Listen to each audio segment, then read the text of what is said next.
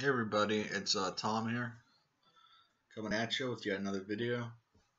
Uh, today I've got kind of a um, a complaint video. I just got off the phone with uh, Ekia Hobbies, the uh, the customer service line at Ekia Hobbies, E K I A, you know, Hobbies.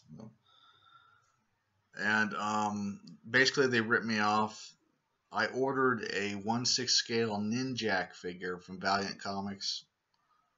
Uh, yeah, I ordered the figure from them. And what they told me, the, the woman who I spoke to could barely speak English. She had a, a thick Asian accent.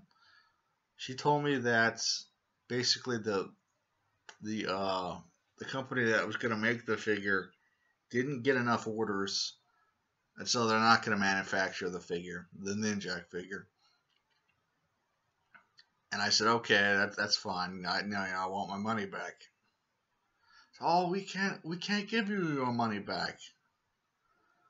Why not? Because because the button's no longer there. Like, what the fuck does that? Give me my money back. I ordered a figure. You didn't give me my figure. Give me my money back. And I argued with this woman for probably 10 minutes. And she kept saying, "Oh, it's not our fault. There's nothing we can do." It's she basically she said it's been too long. That like I waited too long for the figure to come out, and because of that, she couldn't give me a refund.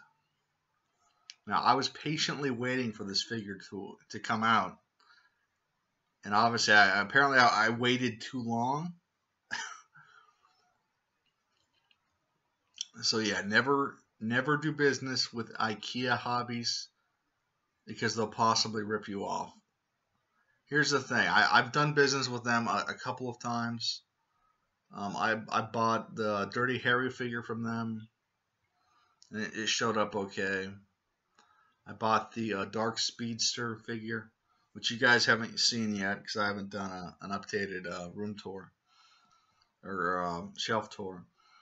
Um, it's a, it's a cool figure, and it, it, it, showed up okay, arrived all right, and um, and the thing is, I've already got another order with them. I I ordered in November, the end of November, I ordered a um, a Joker figure of the Joaquin Phoenix Joker. And uh, I already sent them a me- the Ekia. I already sent them a message saying I want a refund for that figure too because I don't I don't know if they're gonna my phone's ringing. Why is my phone ringing? Anyways,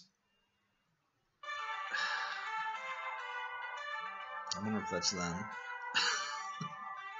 Anyways, I'm not answering.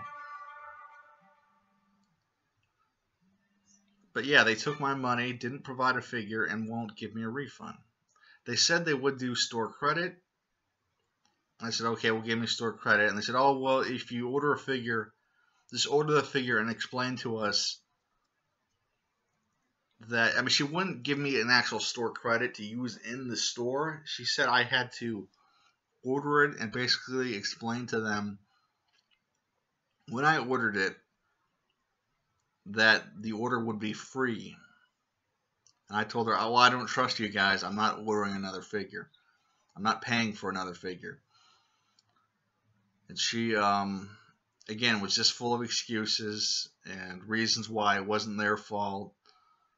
Uh, she said she said it wasn't my fault, but it wasn't their fault either, and that you know they could only do store credit, couldn't give me a refund. So uh, Ekia Hobbies, fuck you. Thanks for stealing my money from me. Ooh, so angry.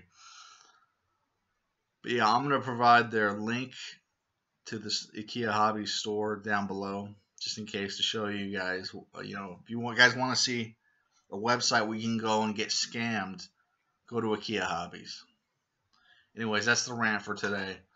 Thanks for watching, and uh, have a nice day.